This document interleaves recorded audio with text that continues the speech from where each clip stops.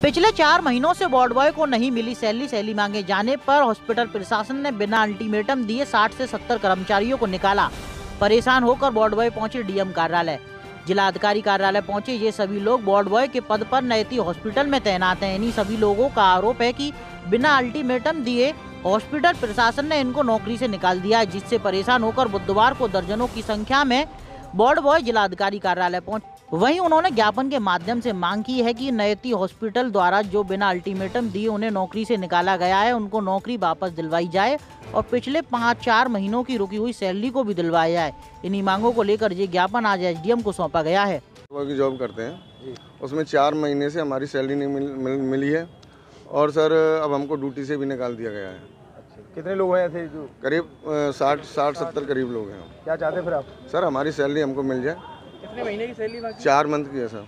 क्या कहते हैं प्रशासन क्या कहता है? प्रशासन कहता है कि हमारे पास कोई पैसा नहीं है खाली बात सैलरी नहीं देते। अच्छा। आपने वहाँ के एचआर से बात की थी? जी सर। क्या बोल रहे हैं? उन्होंने कहा हमारे पास खुद हमारी सैलरी नहीं आई आपको कहाँ से डालना? उनकी अप्रैल से ही नहीं